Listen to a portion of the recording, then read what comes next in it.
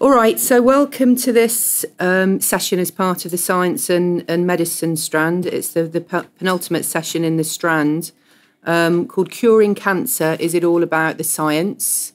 Um, my name is Ellie Lee. I um, have no um, proper uh, qualifications whatsoever to be chairing this session, frankly. Um, so I'm, I'm, I'm not a scientist, um, or that kind of scientist anyway. I'm a sociologist. Um, I direct a, a research centre at the University of Kent called the Centre for Parenting Culture Studies. Um, I mean, I suppose the, the, the, the way in which um, cancer has has come up as part of discussions that I've been in, involved in is more to do with um, aspects of, of the preventative side, which I, in a way that I've always thought was a bit peculiar, um, enter into discussions around um, family planning and then looking after children. Um, so there's obviously lots of discussions about the hormones and cancer um, and the whole question of hormonal contraceptives. Um, and over the years, um, it's always formed part of scare stories and panics about hormonal contraception. Um, I don't know if people remember, but a few years ago there was a really big one. Um, and then a lot of women came off the pill. and there were lots of issues around unintended pregnancies. Um, and somebody called Val Beral at the time stepped in and, and did a load of work to, to uh, reconstitute understandings of risk. Um, the other way it comes into it is around um, what, to my mind, seem to have been peculiarly ineffective messages, which say that if you want to reduce your risk of breast cancer, have loads and loads of kids and then breastfeed them for a really long time. Which doesn't seem to be something, for understandable reasons, that, that is influencing um, fertility behaviour and, and women's behaviour massively. Um, but I've always found it interesting that that somehow has crept into um, efforts to change the way that women behave in, in relation to having children and, and looking after them is, is to uh, warn them about cancer risks. Um, anyway, so maybe that is pertinent to our discussions, in fact. Um, so, so that can come up. The other reason, though, which I think is why Ella asked me to do this, is that I actually um, had breast cancer myself um, during the pandemic. Um, so I was uh, diagnosed with it um, in late 2020, um, and then have had a lot of treatment during that time. so she was a bit nervous about asking me, didn't know whether it would.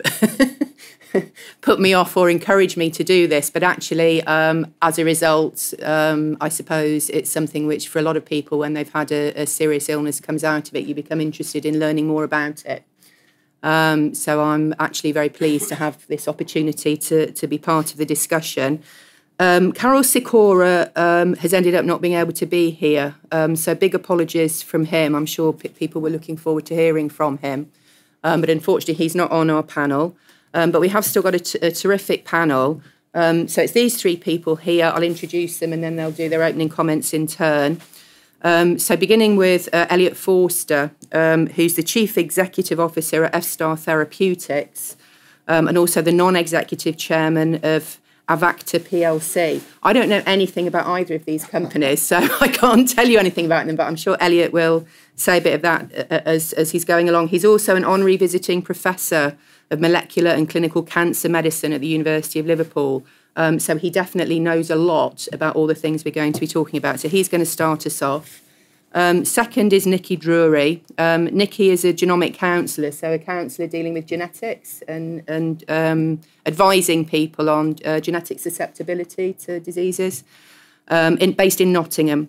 Um, and she's a former member of the United Kingdom Human Genetics Commission, and obviously that whole dimension to um, the causes of cancer is very important. Um, and then, last of all, Miranda Green, um, who is a journalist and commentator, deputy pen, uh, opinion editor of the Financial Times, a former Liberal Democrat advisor, and co founder of The Day. I don't know what The Day is either, so you can tell us about that too. Um, yeah, that, it's okay because that's kind of a, that's slightly ancient anyway. But oh, it's, okay. it's, a news news website, a debating website. Okay. Uh, for teenagers and schools, which is how Terrific. I know Claire and okay debating matters all right. and all of that. Yeah. Um, so Miranda's written a lot, but also, I mean, she's mainly here because she was also a cancer patient um, recently and, and, wrote a lot about it very interestingly um, in the FT. Um, so you know that's that's what we've got. Um, Eliot. There we are. Does that work? Yeah. Okay. Well, first of all, thanks very much uh, again to the Festival Ideas, the Battle of Ideas. Uh, I was just reflecting earlier. This is my twentieth year uh, coming here in all sorts of um, guises, and, and, it's a delight to be here uh, again in this, uh, what is, at least for me, a new venue, and uh, to talk about a subject that I spend uh, not only um, my professional time thinking about, but um, having had some close family members die from cancer at far too young an age, also think emotionally about as well. And, and it's a, um, for all of us, I know, a topic uh, that um, we may worry about occasionally, but certainly think about and hear of uh, in the news. And it's a, it's a, a pleasure to um, debate uh, whether a cure for cancer um, is just all about the science. Uh, let me give you a spoiler: uh, no. so I think I've got a few minutes longer than I would typically have for the beginning, which, uh, for those who know me, will be dreading because they can't shut me up anyway. So here we go. Um, I was uh, out for lunch yesterday, uh, pea soup and a cheese and chutney sandwich in a very small cafe not far from where I live in Oxfordshire. And it was raining. Um, and it was raining a lot. And so the cafe was full. And it was full because people didn't want to go out into the rain. So they'd hang on to a cup of coffee. And it's rather a nice thing because people then, having finished their coffee, start to talk. And I was uh, sitting opposite my wife, but next to a family, normal family, couple of kids, man, uh, woman, uh, and some friends, clearly as well, uh, also with a couple of kids and chatting away. And they were talking about all sorts of things, and I couldn't help but have my ears prick up when they started to talk about the flu vaccine. And it is now flu vaccine season. Um, and one person talked, turned to the other and said, Well, I'm not having the flu vaccine because I don't want to get flu. Now, it was all of my self control required to stop me turning around and pointing out the um, contradiction uh, in that particular statement. Let me use the word contradiction. And um, in, instead of that, I kept it to myself and thought, I know, I'll talk about this tomorrow. So here I am talking about it tomorrow. And why does it even make any difference whatsoever uh, to the conversation around a cure for cancer? Well, the fact is that um, there will not ever be a cure for cancer. Uh, if you were hoping there was going to be one, I'm sorry to be the breaker of the news because of several things. So, one is that cancer is not a single disease. Um, it's at least dozens and maybe hundreds of different diseases with different genetic, uh, biological, and environmental origins. Uh, some are familial, uh, as you know, uh, some uh, most, in fact, just occur spontaneously because we're living life and our immune system can't see uh, the broken cells anymore, or because we got some sort of infection uh, at some point in our life and it's uh, virally driven. And there'll be other things that cause cancer that we know nothing about. Um, and I'll come back and, and, I'll do the Karol slot in just a minute and talk to you about the advances we have made uh, so as not to be too pessimistic. But what we can do, and as close as we'll get, is to do two things. One is to treat cancers and turn them into chronic diseases. And that will require understanding of data. It will require discipline by the healthcare givers, and it will require, in particular, discipline uh, by the patients. Um, the other thing we should try and do is prevent cancer occurring at all. And in that, we have much more of an opportunity. Probably not for people uh, of my age, uh, but the youngsters uh, that you guys deal with, um, you know, my kids' age have got much more chance, and of course their kids even more chance than that. But again, in order to do that, it requires a societal ambition which is much greater and in fact hits headwinds every single day uh, than the one uh, we're willing to accept today. Uh, and the first of those is the willingness uh, to participate in broad ranging uh, clinical uh, trial activities um, and longitudinal studies of disease, obviously in this case cancer, uh, and enable uh, the data that's emerging from those uh, to be used not just by the NHS uh, and other health sector, but also by companies like my companies who will use those data to try and find new treatments, but more importantly, to find prognostic or advanced uh, diagnosis uh, of these cancers to prevent the cancer occurring in the first place. And why does therefore the woman um, and man who are sitting next to me's conversation uh, become uh, important? Well, it becomes important because, and I'm sure you'll hear from other panel members, during the course of COVID, uh, we have seen the inexorable rise uh, of an anti science fraternity uh, who, in particular, describe themselves uh, as anti vaxxers. just so you're aware that this is not the first time this has occurred. many of you will have heard of a guy called Andrew Wakefield, who uh, I had the misfortune to work with at the Royal Free when he was practicing medicine there, who has now moved uh, to California uh, and sits at the heart uh, of a state uh, in which there is so much uh, anti vax that the state was unable to reach herd immunity during the COVID pandemic because so many people refused to take a vaccine. Um, that mentality, by the way, um, will be the thing that prevents us from preventing diseases eventually because in order for uh, the prevention of many different types of tumors to occur, we are going to have to collectively provide our data uh, and trust the feedback uh, that comes back. And that becomes very, very important.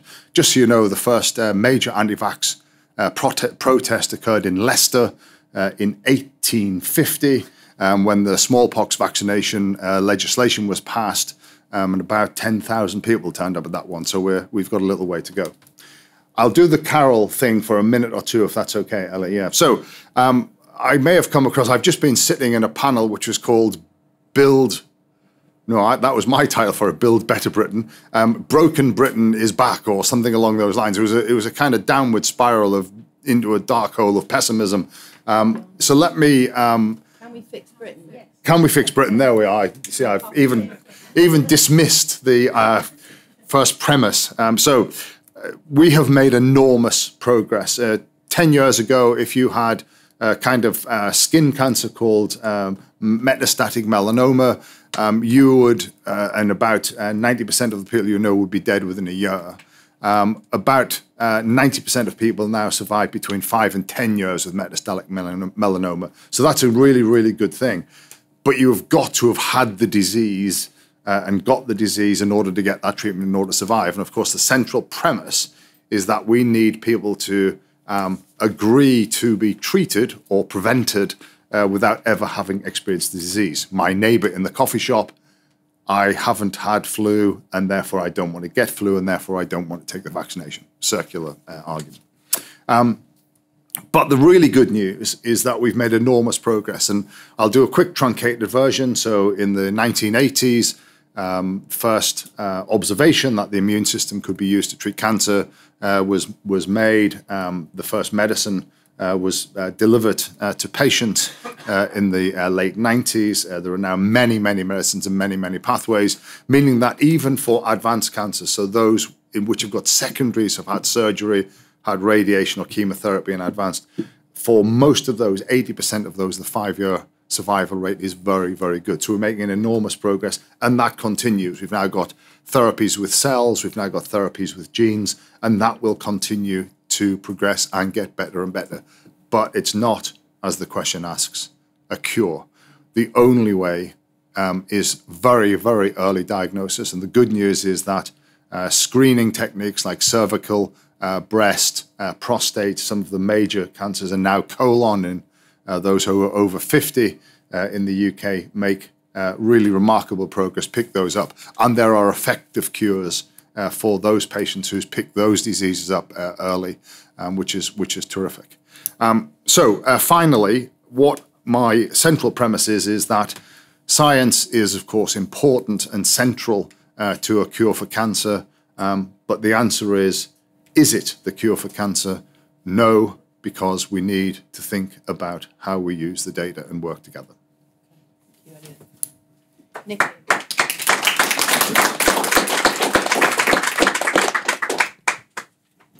Thank you. Um, so uh, I've written this as if I've had five minutes. so in the in this brief time about curing cancer, it's all about the science. I firstly want to focus on um, why cancer is more common now than in the past. Secondly, on how much things have improved, which Eliot's already touched on. And finally, to flag up some of the um, big challenges that we face. So, everyone here's heard about the one in two statistic about cancer, I assume, and seen the scary adverts on the TV, which often feature very young people with cancer um, who are, are, are, quite poorly. And, and, and lots of people have the sense that something's going very wrong. However, essentially, in a country like Britain, um, we're, we're getting more cancer because we're living longer. We've got better sanitation, better healthcare, better, higher standards of living. So we're living lo- much longer. Uh, if you die young, it's um, you, which you often did, you have a lot less chance of developing cancer than if you become old. Uh, with the current, the highest rates of cancer in the UK are currently in the 85 to 89% age group, with half of all cancers being over 70. So it's something that's likely to be, you know, in half of our life journeys. And but many of, you know, the, the prognosis for having cancers have changed massively since the 1970s, really. Uh, before that, you know, we made a lot of headway in the 20th century with diseases, infectious diseases, with cardiovascular disease, but we didn't make much headway with cancer, and getting a cancer diagnosis was not good. And I see these family trees from the past, you know, and people um, with with uh, cancer susceptibility syndromes and other cancers, they just didn't do well um, when we look back in time. So uh, things are much better now. We've got prevention. You know, we've we've got the HPV vaccinations for young girls, which will decrease hopefully cervical cancer rates.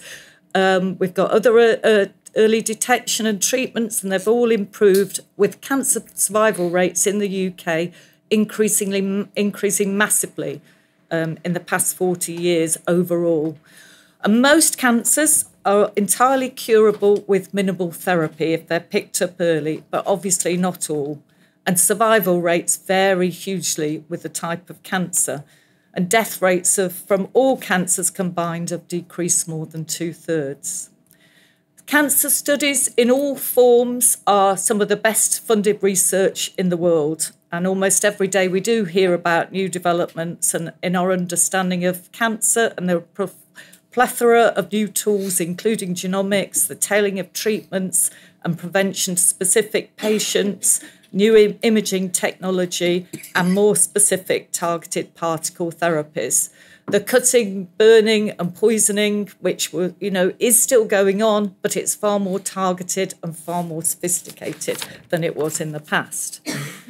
So, focusing specifically on the small group of patients that I work with as a genetic counsellor who have a risk of cancer susceptibility syndromes, this is only 5 to 10% of all cancer patients, um, uh, but they make up a high number of the young diagnosis with a very high uh, mortality rates without intervention. So, they have uh, has a big impact.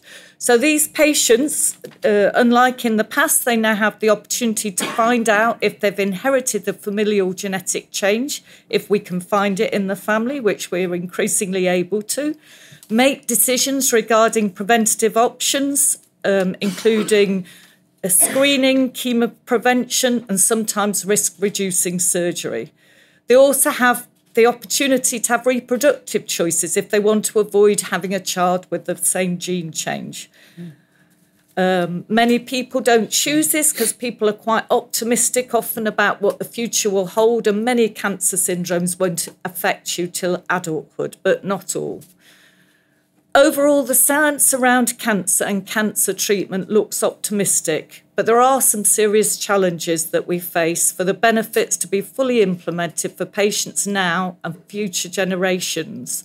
Recent studies have shown that the UK is falling behind other comparator countries with its one and five year survival rates, which is a big problem. So, I mean, one thing is we've had austerity in the NHS from the decade from 2008, and it had its biggest spending squeeze, the NHS, since its formation. And this combined with the disastrous approach to the pandemic, which made things so much worse um, for cancer patients who got late diagnosis and ad- inadequate treatment and care. Now, the NHS is still running on hot. I'm still working in the NHS. I've retired and returned. Only 15 hours a week, but I do love it still. um, but the NHS is running on hot and desperately trying to play catch up uh, with long waiting lists and inadequate staff with little uh, capacity to focus on improvements and efficiencies. And there is a real vicious feedback loop in, in terms of recruitment and selection. Um, retention, sorry, meaning that even new government initiatives aimed at speeding up diagnosis, such as the setting up of community diagnostic centres and mobile lung screening units, all really good things, struggle to find the staff to run them. There's uh, an increasing number of people who are living with the side effects of cancer, as well as those having ongoing treatment over many years. These are obviously have health needs and need support for the health service. Um, and we, uh, the chances of dying from cancer are much higher if you're poor. And the government make a lot uh, about much is made of the higher levels of smoking, which obviously is a very well known carcinogen, but, but alcohol and obesity too. Um, being higher in uh, in levels of sorry areas of deprivation, but I think this is a really complex issue and not one about ignorance. I mean, if you just look at nurses, a quarter of nurses are obese and smoke. I think they know about the health risks. Um, I think lifestyle choices, as they're called, uh, are, are much more difficult depending on your life circumstances. For example, if you're working sh- irregular shift work, the whole idea of having a regular time to pick up a hobby and some exercise is much more difficult. And really, if we want to do um, something about this, we need improved standard of living and and also improved access to healthcare because access to to healthcare is much worse in deprived areas. Uh, they have less, the, the, the GP practices have far more patients. Patients are often much later at seeing the GP, often due to when the GP being is available, not fitting in with their hours. Um, and the, the local health services are, are find it difficult to re, even more difficult to recruit staff. So, in conclusion, the high levels a, uh, of cancer in a country like the UK is predominantly due to health, really, our longevity. Prevention and early diagnosis and treatment are getting much better than in the past, but they are we are failing to keep up with comparable countries, and uh, this is leading to very significant failures for patients. With a cancer patient's NHS journey often, often encompassing both the best of care and the worst of care curing cancer is definitely not all about the science.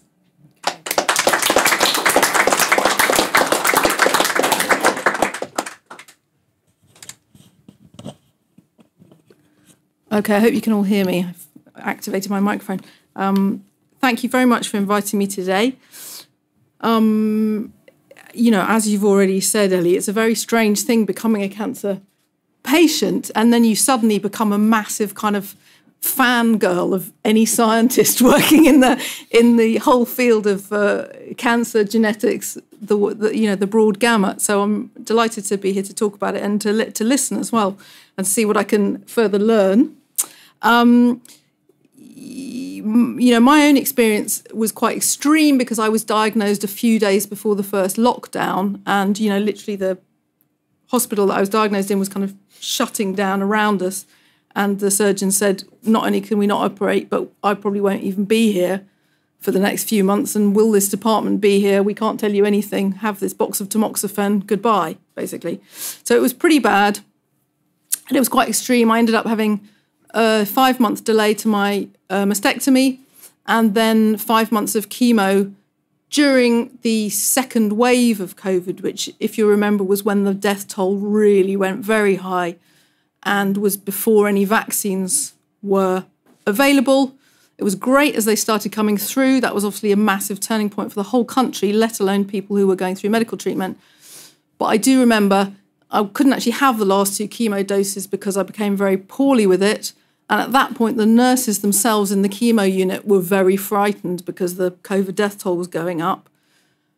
And, you know, it was pretty bad, actually. You know, it was a pretty bad experience. And, um, you know, the reason I'm telling you that is because this morning, in sort of researching our, our, our, our discussion today, I went back and, and, read a recently published interview in my own newspaper, the Financial Times, with the philosopher William MacAskill, who's an Oxford philosophy professor, talking about why it shouldn't be a priority to find a cure for cancer, um, saying it would only add 2% to uh, longevity worldwide. So I had an emotional reaction to that, as you would imagine, because it's hard not to take these things personally now. Um, because I think it's quite interesting. You know, it's sort of, I've heard people in the world of, you know, the kind of UN circles, I suppose I could describe them, you know, talk about quite dismissively now of, you know, rich world lifestyle diseases and how they shouldn't be a priority. Because, of course, it's a massive global priority to, for example, find a cure for malaria, you know, which kills vastly more people than, than, than what we're talking about today. But it's sort of, you know, our, our, you know, our theme is is it just about the science? I think there are lots of other things going on, and this particular sort of global debate about whether we should even be prioritizing what what they call Western lifestyle diseases, you know, is a is a topic of conversation. So that's one thing. You know, you might have to start actually justifying your research, Eliot, morally which is quite kind of interesting. Um, so that was one thing I thought was interesting to consider the kind of morality of prioritizing diseases which which affect people like us who, you know, in terms of global comparisons, have pretty great lives. Um, I really enjoyed Nicky's uh, reminder that the one in two of us to get cancer figure is based on massive success of keeping us all alive much longer. I do think uh, you know, it's a very scary topic, cancer. I can't really describe to you the terror of getting a cancer diagnosis. It's like nothing I've ever experienced before and hope not to again. But, you know, the context is, is important, right? Um, you know, cancer is part of our biology, you know, this bizarre way in which cells replicate and where they then end up and whether it's a benign thing or, or, or a malignant thing is part of our biology. And the longer we stay alive, the more we're liable to uh, fall foul of, of, of malignancy. So I think it's really good to sort of to sort of contextualize that. You know, for, for breast cancer, which which two of us here have, have, have been through recently, you know, your risk factors are being female and living longer. You know, that's basically basically it. So I'm quite pleased about both of those things being true of me. So so you know, and and as for the rest of it, it's still a bit of a mystery. Um, I thought it was really nice also that we're having this discussion today because, on a more cheerful note, you know, the the, the star guests this morning on the Kuenssberg program. I don't know how many of you actually saw it. Was the the uh, husband and wife professorial duo at the heart of BioNTech talking about how you know having harnessed their mRNA technology to the COVID vaccine, the progress they're making with individualized cancer vaccines. And they actually said, well, by 2030, we should be able to actually get this to patients, which I thought was an amazing thing to hear and buoyed me up on my journey here this afternoon. Because I think, you know, when you're a patient, it's very peculiar because they never use the word cure. I don't know if you also had this experience, but yes. the word cured is not ever sp- even if you have something that's quite a well-trodden path like a hormonal breast cancer which is you know more than one in eight women in the UK, they only talk about treatment. They don't talk about cure. And that's because they don't really know what's going on. And all they can do is put you on, on, on a path which has the, the benign effect of improving your probabilities of survival all the time. So it's very weird. You become data, you know um, you become a data point. Is that right? You become a, you, so you become a data point, and all you can do is put your own factors into strange online models, which then give you back numbers that you may or may not be happy about reading. You know, so that's kind of quite a strange feeling. Um, but that's because the, the, the medicine is basically, well, we've tried this and this works, right? It's not actually particularly at the level of why did you get this disease in the first place? And in fact, as well as finding the talk of treatment not cure spooky as a patient uh, and the, the sort of probabilities uh, quite emotionally hard to deal with, the thing that I found absolutely fascinating was just how many of the questions that you ask as a patient, the answer is we don't know. Why have I got this disease? We don't know. Why are one in eight women in the UK getting breast cancer? Yeah. We don't know. Uh, why why did it happen to me? No one in my family has ever had any sort of cancer before, as far as I I know. So it's not one of those tiny proportion of genetic uh, cancers. You know, so so that, that question, why me? Why is this? Why is this hit? You know, why is this bolt of lightning hit me? We don't know. Um, and how can I stop it coming back? We don't know. So it's it's it's very interesting. So so clearly the science is amazing. And as a patient, you sort of put your faith in the science. And I feel as if my mission, your mission, our mission is to stay enough to stay alive so that we benefit of all these amazing scientific discoveries, which are really happening every 15, 18, 24 months now. I mean, it's phenomenal what's happening in cancer science. Um, but, you know, I think that Nicky is absolutely right. You know, there are lots of other problems. You know, access to the diagnosis and the treatment is quite poor, actually. And if you look at the, the map, Cancer Research UK have actually produced a map of regional variations in both diagnosis and treatment. And it's really bad. And it absolutely exactly maps social deprivation in the UK you know, we really, that is a conversation that I have, unless I'd been actually investigating it for the long piece that I wrote for the FT, I would not have known that, that we have such a problem with access even to the, the first steps of treatment. So that's kind of negative. Um, and yeah, and, and early detection. The, the other is it just the science? No, the early detection. It's I'm very pleased that the government has had this focus on on these diagnostic centres because, in my view, the way that we structured the NHS with the GP practice as the gateway to all treatment no longer works because of the volume of demand on the GP practices and because they are not up to date with all the diagnostics. And that is where a lot of problems are creeping in. And that's the end of my disquisition. Thank you.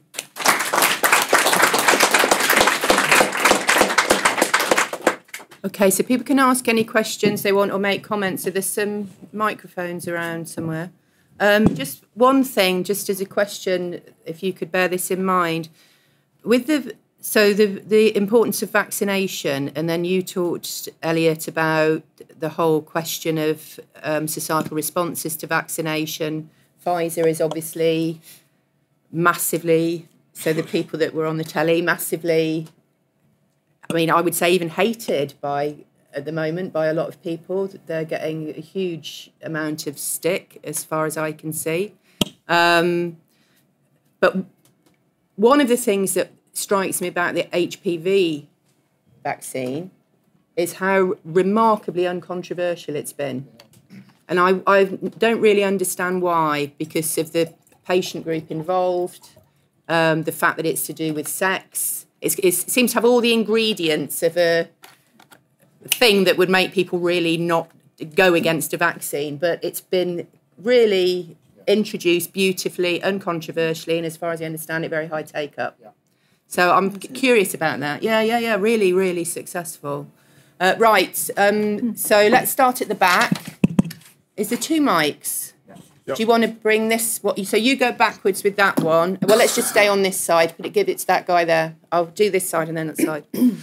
Thank you very much. I just want to expand um, on the point on COVID and vaccination uh, given by the first speaker. So, what we saw with COVID um, was this disease that uh, uh, was that it was uh, it was essentially elevated above medical ethics. Uh, uh, so the point it was elevated in the media as this great big evil that we need to do everything we can to combat, and medical ethics be be damned in some case. Uh, there was there was no consideration for that. Uh, as a result, we have seen uh, some downright unethical practices in association with the COVID vaccine. Uh, the rush development of it, uh, shortcuts taken in clinical trials, informed consent being either sidestepped or just completely ignored.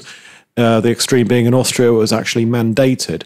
Now, cancer has has had a lot of charity, media, uh, and, and, of course, uh, research budget uh, resources thrown at it uh, because, of course, naturally, it is uh, it affects all of us really.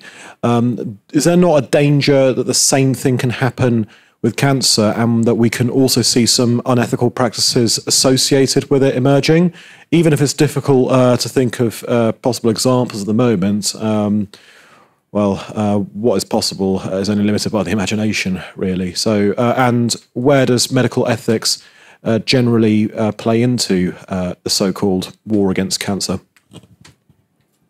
Um, do you want to you go and then bring this that microphone down here to this this side to that hand there? I'm just going to do this side and then I'll come over there. Uh, one comment and one question following on from your comments, actually. Um, the anti vax label, um, which is highly emotional. Um, I'm a New Zealander and I am very disturbed in New Zealand uh, that freedom of speech seems to have been shut down. So we have qualified doctors and scientists um, who, over the last two and a half years, have not been allowed to raise questions. So, as experts, they haven't been allowed to raise questions. I personally know doctors in New Zealand who have lost their practicing license due to raising questions and being disciplined by the New Zealand Medical Council. So, it's the freedom of expression issue that I have a problem with. I, I think we should be expressing, qualified people should be able to express doubts and questions and have those addressed by the government or, or the other side. That's what this whole weekend is about. We celebrate freedom of expression. So that's my bit on that. My question um, is I, I'm. I'd be intrigued if anybody's got any information on whether cannabis related products have been, whether they believe that they are helpful in the cancer journey. I think they might be, but I don't know what the evidence is. Uh, so give that microphone to the woman there. Yeah, you go, sir. Oh, oh sorry. Thank, thank you. Um, very quickly, um, based on the lady, the last lady's comments about uh, the GP gateway uh, isn't working anymore. Um, how do you see we can have a sort of vaccine type walk in or regulated walk in system for testing, for pre screening, particularly in relation to uh, the belief that I believe there may be blood tests available quite soon? And very quickly, for the first gentleman, it might seem a little bit off topic, but. Um, I've seen the consequences of failure to pick up on the behavior of malign personalities and the damage they can cause in an organization. What were the warning signs about Andrew Wakefield? Thank you. That's a serious, serious. Um, you, you go bring this mic down to the front here. Yes, madam. My understanding is that um, certain diseases are very strongly influenced by genetics, such as sickle cell anemia um, and Huntington's disease.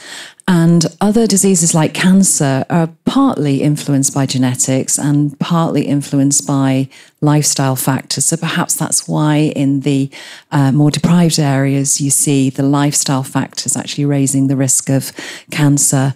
Um, of the people who do have genetic variants that predispose them to cancer, what is the actual risk of that person developing cancer, or is are the lifestyle factors still a very strong influence?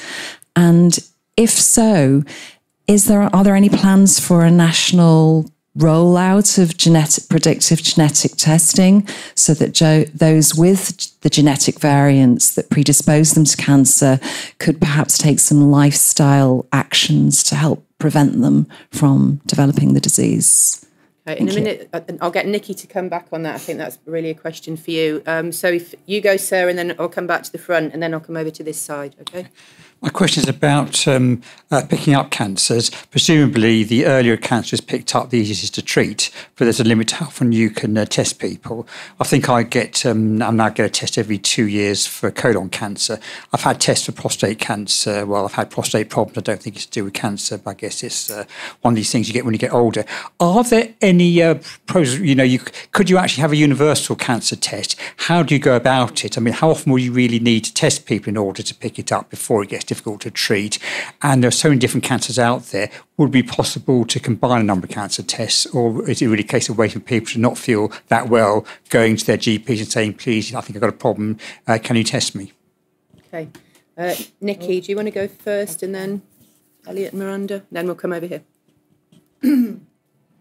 so, specifically on the genetics and cancer, um, yeah, the, the sort of 5 to 10% of people that have an inheritable cancer syndrome, uh, in all the cells in their body, they will for have all your genes come in pairs. We've got about 20,000 instructions in all.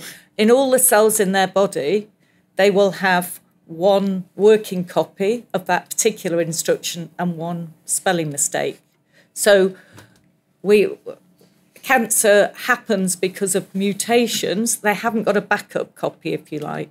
So the rates of cancer are sometimes extremely high. Like if you have a bowel cancer syndrome called hereditary adenomatous polyposis, uh, unsurprisingly called FAP for short, you have literally hundreds of polyps in your bowel, often by, uh, you know, 12, 13 years of age.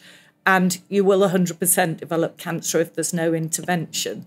So it does vary according to the specific cancer syndrome, but the rates are very much higher. Lifestyle will play a role with these cancer syndromes, like, for example, um, you know, with a BRCA1 gene change, uh, there were lower rates of breast cancer.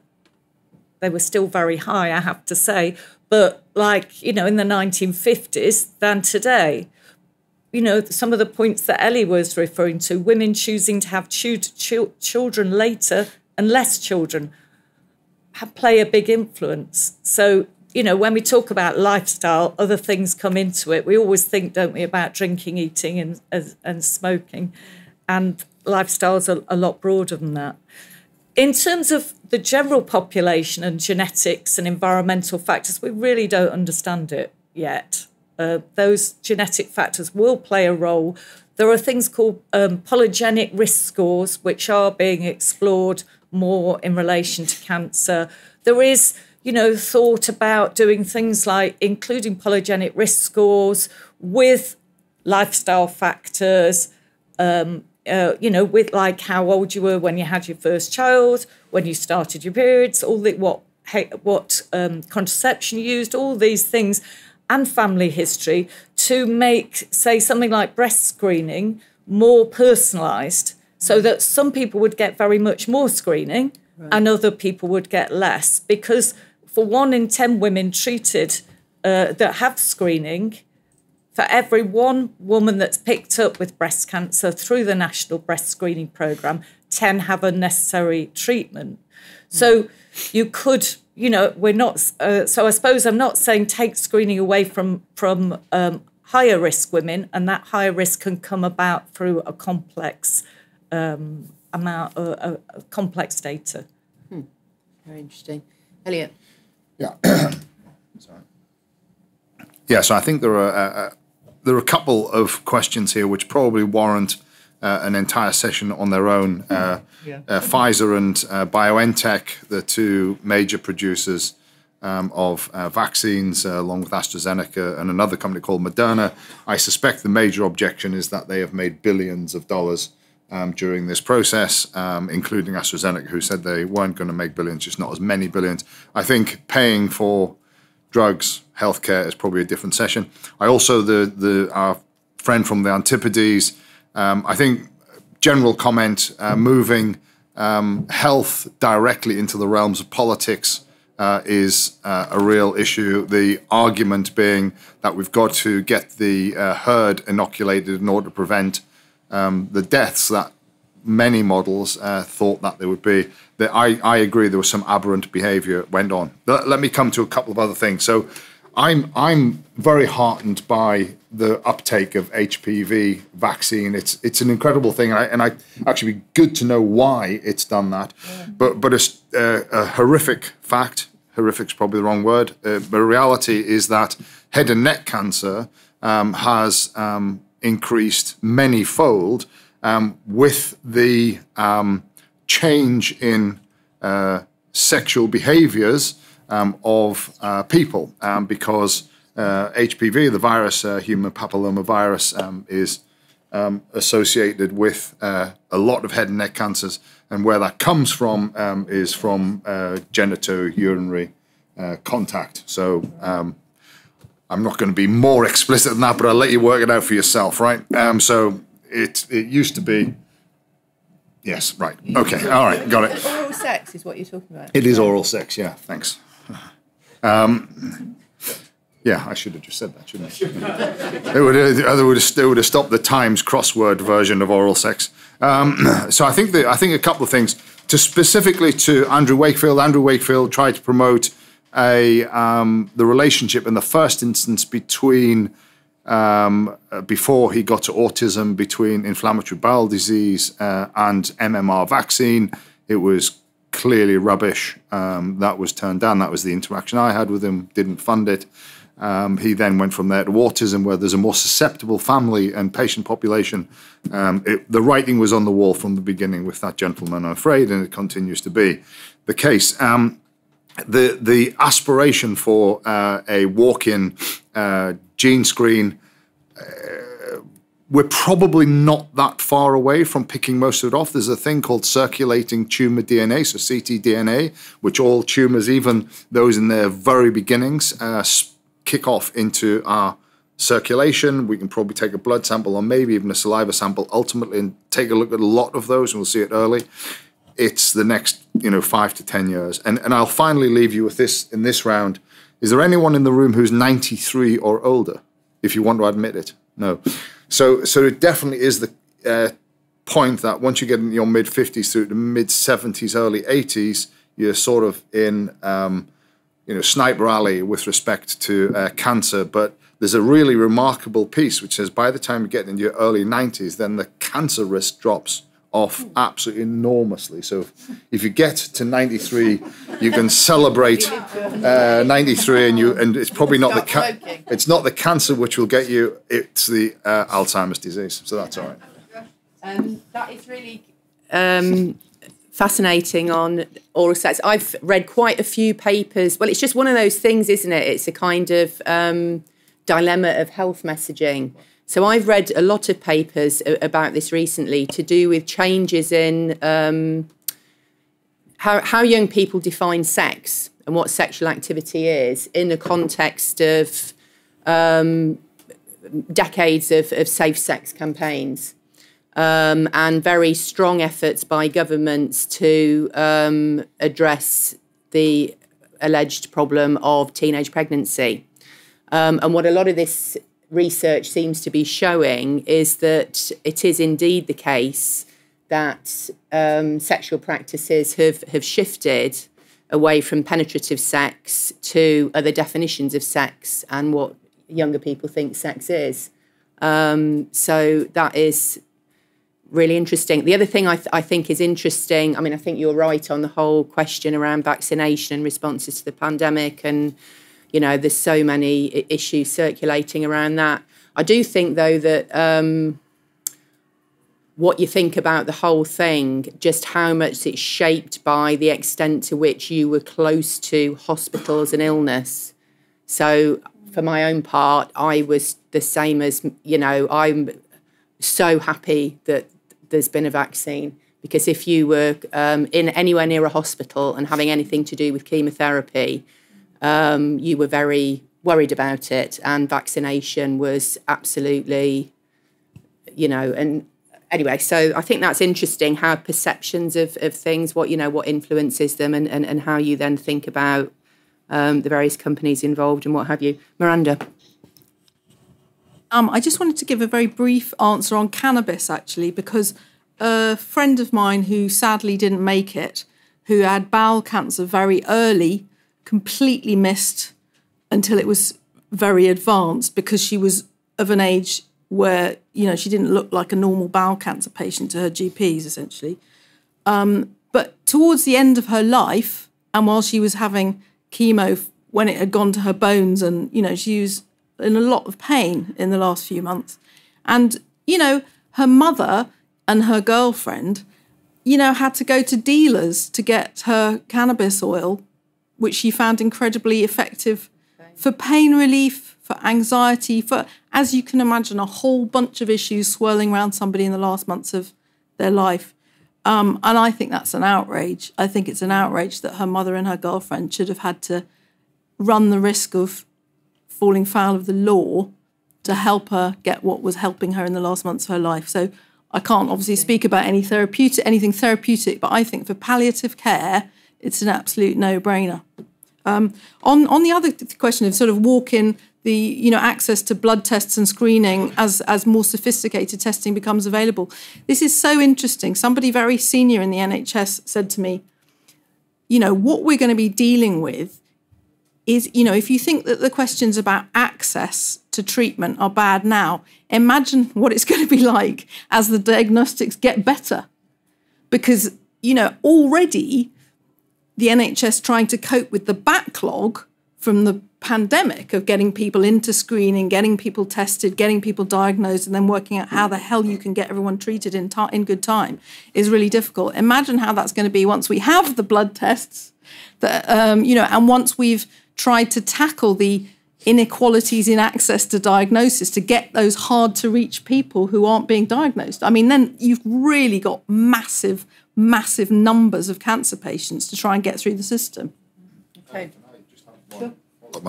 Yeah, so so if you if you tie the uh, deprivation to diagnosis together, so so I work with uh, Manchester University scientifically, and um, one of their areas, of course, around Manchester is Oldham. Uh, one of the um, challenges uh, that were there were were English as a second language, so it's not just deprivation, but it's the other barriers, uh, and unfortunately, so uh, lung cancer, the most uh, common time lung cancer was diagnosed in Oldham uh, was in A and E. So patients are walking in coughing up blood, and they were diagnosed. They're essentially dead by that stage. They're not. There are very few of them. It's very difficult at that stage to bring it back. Uh, so what um, Manchester University did, which I think is brilliant, is then essentially put um, diagnosis in vans and went into the communities to the local shop or uh, club or housing authority and were able to access and started to bring that uh, cancer rate down. So, so it's there are two levels. There's one is just getting the diagnosis for those things that we know how to diagnose in place. Uh, then it's the kind of the next wave, which is and things we will be able to diagnose in the future, and it needs an entirely different capacity. And just to go off topic slightly, um, and I don't want to stir a hornet's nest up here, but but in essence, the design of the NHS we have right now is wrong. Um, and the and we can talk about GP separately, but if you get beyond GP, we have both acute and chronic patients in the same institutions, mm. and they have different problems. And one of the issues with bed blocking, for example, is you've got chronic patients in acute settings. So you've got someone who's had a motor accident mm. is blocked by someone who's got a degenerative disease. What we need are two NHSs. Yeah. Um, and one which deals with chronic diseases, and they're designed for very, very different things, and one which deals, deals with acute diagnosis, car accidents, etc., etc., and patients who are likely to be out of that service. That is an enormous political issue. People who are setting up NHSs for the very first time, so if you look in the Middle East, look in other parts of the world, are addressing this up front. So you, so you segregate uh, those two things. I know that's off topic, but I thought I would add. Yeah, that, I don't know if people were here in this session before on GPs, but this that whole thing really came up as part of that one. Right over here. Um, so do you want to go to the back? Who has the other mic? Oh, you go to the back and you can go give that give yours to that lady there, and um, so I'm going I'll come back over this side in a minute. Can you go over there and give that to the lady at the back? First speaker touched on this, but I wondered if you expand a little bit. At the beginning of your speech, you talked about um, four or five sort of causes of cancer, and that's what's of interest people a lot. You know, um, could you say a little bit more about that? Um, so just go back to wherever the next hand back is. Uh, anyway, thank you. It's been a very interesting discussion. Um, I don't think, um, now with GPs, the problem is that most GPs haven't seen certain diseases and they'll get one in, during their lifetimes. And I've seen it myself and my family, how things are missed because they just haven't seen it. And a lot of cancers get diagnosed in casualty. So when someone goes vomiting, you know, blood, whatever, or coughing up blood. Anyway, um, so yes, um, there should be a sort of different way of trying to catch these people early. Um, also, um, I think, you know, with complementary medicine, I would say that I would use both allopathic and complementary. I don't see any problem. I don't think they're antagonistic. Um, the NHS is structured in such a way, it's got procedures which don't allow for improvisation because if a GP said something and it wasn't, you know, as the procedure should be, then he'd get into trouble or she. And so um, I think that, uh, you know, remember that today's science is tomorrow's redundant idea. So I think allow complementary medicine to explore certain things. And certainly, if people read things and inform themselves how to eat better, do more exercise, and if it's in that area, why not? And so I certainly don't. And I think with, with Macmillan and the kind of complementary therapies they provide for cancer patients in hospitals, uh, like massage or yoga or whatever, great. I mean, it really helps patients. So um, I think they should support each other and not be, you know, let one do one thing and one the other, and let's see what works um, for people. As far as COVID vaccines, I know more people who've been damaged than who've actually um, from the vaccines. Really, it's quite extraordinary um, than from um, having COVID. So it's just anecdotal evidence, but it kind of makes one a bit concerned. So I'm not anti-vax at all, and it's once more, you know, I think look at see see what works and learn from it. So um, whatever. The microphone to. But thank you. Over there. Uh, so Paul, you go now. Yeah. Oh no, yeah, sorry, there. Yeah, then you can give it to Paul.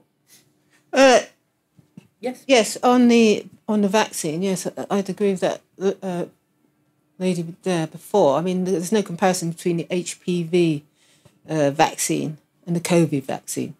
I mean, the COVID vaccine has been a, a big moneymaker, and we and there's been a lot of secrecy around the data, and that's the biggest problem around the whole COVID thing. And also, I mean, the COVID vaccine is not a cure.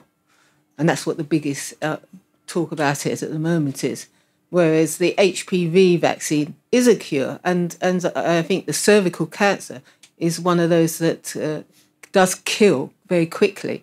So um, it's not surprising it's been take, taken up.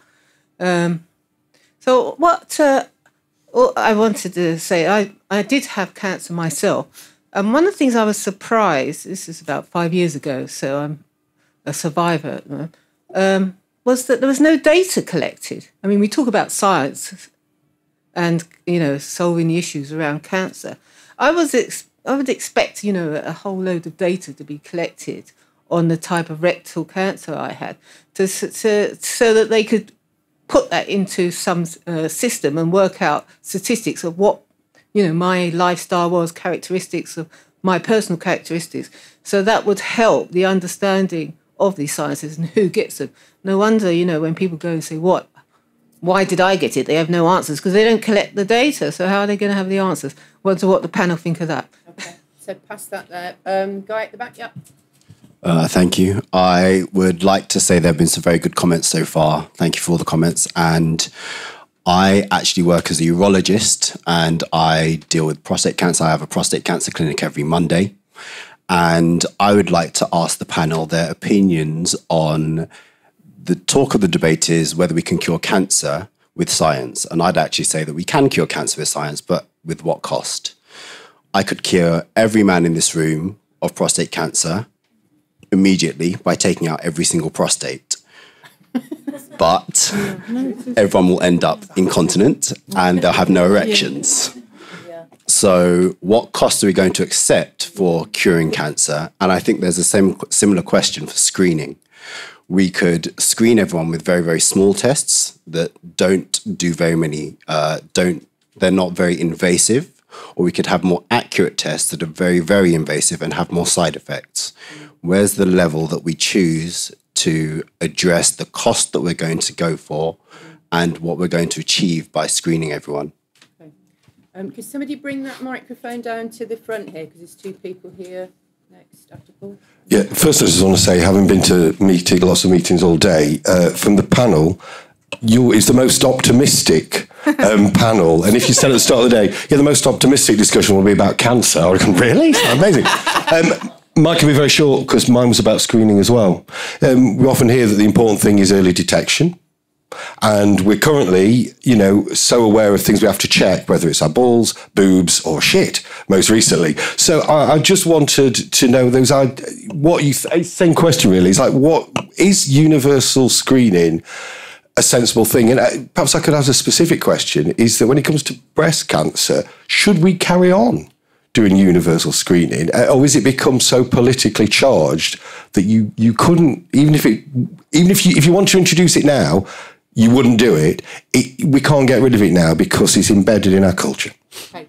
So a couple of people here, and I'm going to take really quick comments from the front. Yeah, a 22-year cancer survivor, and uh, interesting, interesting to hear what you're saying about uh, GPs. I didn't. I was so healthy, I didn't have a GP, hmm. and so went to the A and E and just waited until someone saw me. And when I was diagnosed quick sticks, they said, "Thank God you didn't have a GP because they never would have caught this." Um, but uh, my question is more about um, the um, uh, t- long term studies. I was on a study and uh, I later discovered that it was a study of seven. And in fact, um, it was so rarefied that it was a machine. Uh, when I, when I was in this machine, doctors appeared from Greece and America to come and stare at my boobs. And thank goodness I'd grown up in the 1970s south of France and and was quite happy to show my boobs.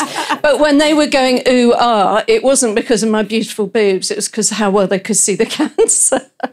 but you know, you seem to suggest that there was some reluctance reluctance for people to take part in these studies, and why would that be? So you can pass it now, yeah.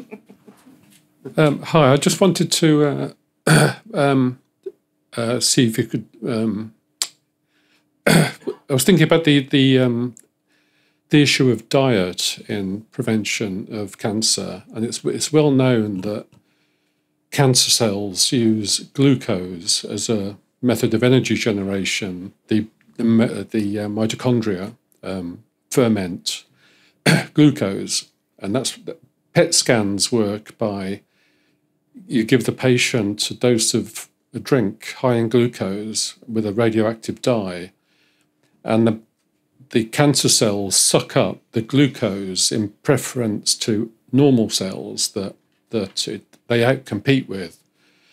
So cancer cells have got a, um, a predisposition to sucking up glucose. So that's evidence that diet has got can feed cancer cells um, preferentially. There are three types of fuel that you know come through digestion. You get ketone, ketones, glucose, and glycogen. If glucose and glycogen can be restricted through a low carbohydrate diet, um, would that not slow the progression okay. of cancer? All right. So just pick up on one point each. Do you want to go first, Miranda? Well, I know, and so then you have to talk to people afterwards as well. Um, do you want to say something? Um, yes, the downsides of screening and the downsides of radical cancer treatment. I mean, these are brilliant, brilliant questions. We could definitely do an hour on these you know, chemo is no fun. I'm telling you. You know, I definitely it's like no stars would not recommend this holiday.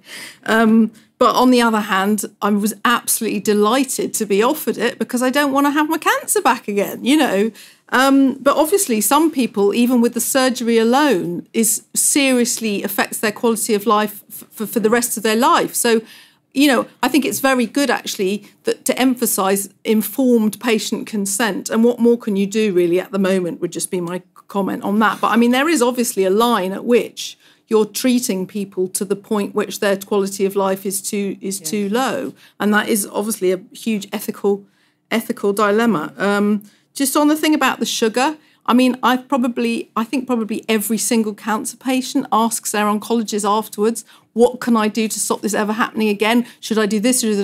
I asked the question about sugar. She said to me, you think we haven't thought of that? It's not, you know, this has got nothing to do with anything. Booze is really bad.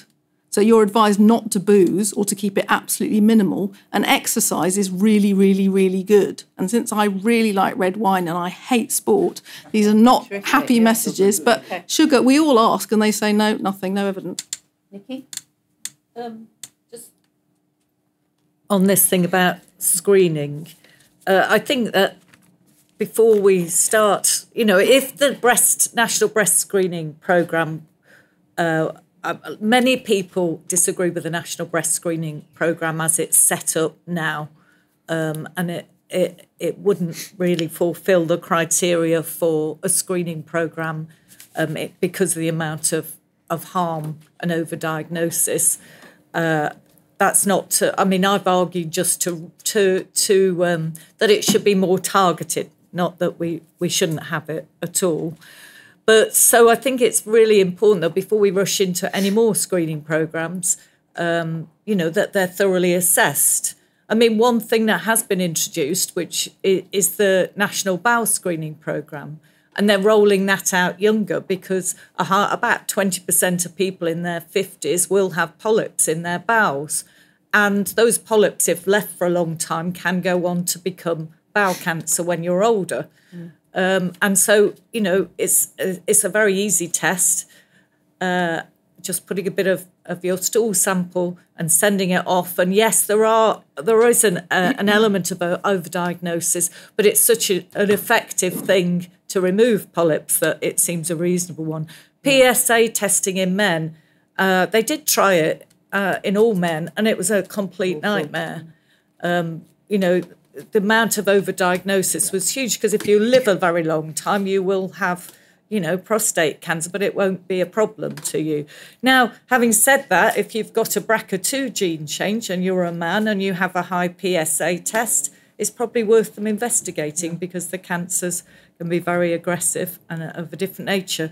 They're having a sort of blood test for cancer, it all sounds wonderful, but you know, again, overdiagnosis really. Okay. Um, All right, thank you, Eliot. Okay, I'll be quick. Um, on the, I think the ec- the economic question asked by the two gents uh, over in the against the windows is exactly right. They ultimately become choices. They become choices of therapeutic intervention versus economy versus outcome. And as the tests get more and more widely available, then society is going to have to make those decisions as well because there are downstream consequences of positive tests. And finally, to the two ladies with their vaccine experience with COVID. Uh, I'm sorry you believe that, but nonsense is all I can say. Okay. Um, so, last few questions and then quick semi up from the floor. Tony, did you want to ask? You, you look like you're going. I thought you wanted to ask something. It was on the screening in the early. Oh, okay. Covered really All right. Where are the other hands? There are some a couple more over here. Yep. Hi. So thank you for the discussion. It's very interesting. Uh, but I feel like we're missing a little bit of um, context because we are really just concentrating on the physical side of ourselves. Yeah. And the mind is still there. And uh, I feel um, there's just like every time something happens to you, it gives you a sign, especially your body. Like if you get a flu, I mean, yes, the virus, everything has been around there, but you caught it and you, your body is really giving you signs. Yeah. So I'm just wondering if you could maybe reflect on the fact that we are not really living in our bodies, we're just living in our heads. And that might be really having a strong impact on everything that happens. And another thing I wanted to mention is so we are really used to um, giving away the ownership of our bodies when something happens to us to doctors and and yeah. And isn't that very important to really stay connected to ourselves? Uh, I mean, yes, I trust doctors and I, I, I really am happy for the progress and everything. But isn't that a really important uh, part and, and, part of the discussion? Because we are really really concentrating on the scientific side right. but yeah. Any more? Last i could take maybe one more. Okay so i'm going to take some last comments from the front. Just on um, oh no sorry. No no no no you've God. No, it's no, no, no. Uh, Only, only if there's anyone who hasn't said anything before. Okay. All right. Thank you. Um, all right. Here, lady at the front. Yeah. Hi. Um, I, I know you can treat all sorts of cancers, and it's uh, it, you know it's it's fantastic.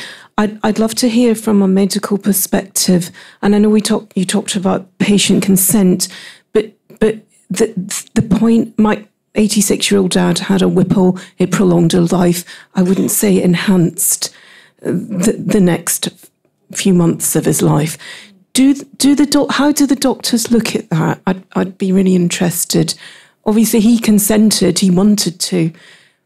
Uh, What, what, would the doctors intervene? At what you know? What point do you? I'd I'd love to hear what, the the thought process there. Okay.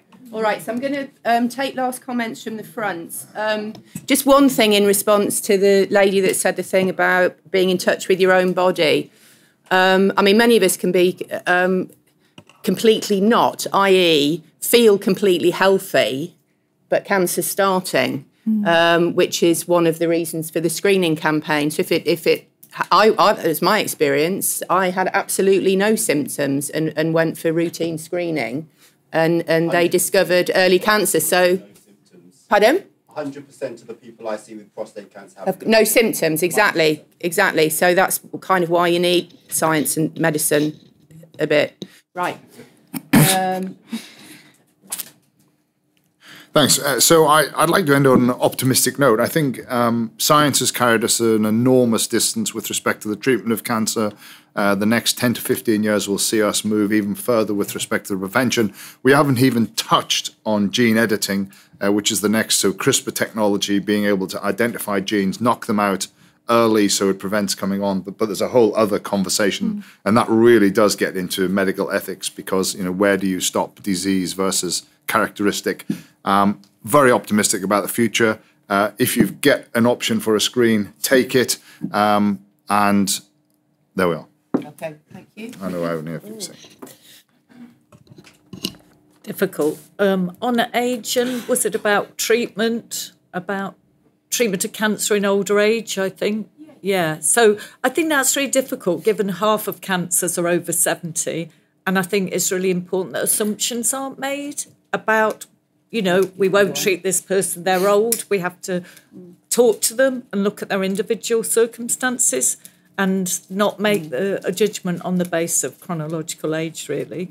But yeah, I mean, obviously, a good life is not just about an absence of disease. And I think we need to be mindful of that in all these discussions. Okay. Thank you.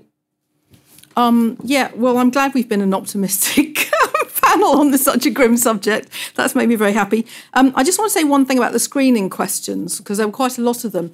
And I think there is a bit of a downer on breast screening. And I just wanted to say that it does pick up a lot of cancers. And in fact, in France, you're screened from the age of 40, whereas here it's 50, I believe. And in France, you're screened once a year from the age of 40, and their outcomes are better than ours. So let's not, you know, go crazy about this. And also, mine was not picked up by screening, and it wouldn't have been because I have had something called lobular cancer, which is really hard to see on a normal normal mammogram. It wasn't even visible on an ultrasound without a biopsy, and then on an MRI, I turned out to have a five and a half centimeter big tumor, which I had felt several months previously, and the GP told me was just my age because things get a bit lumpy and bumpy. So my message would be, please don't let's stop the screening, but also the screening sometimes not enough because it doesn't pick everything up. So if you have symptoms, please be insistent because GPs, as somebody said, only see some cancers occasionally, and even on really common cancers, they might tell you to go away and it'll, you know, sort itself out. And it's if it's a five and a half centimeter tumor, it's not going to do that. Okay. All right. Thanks, everybody.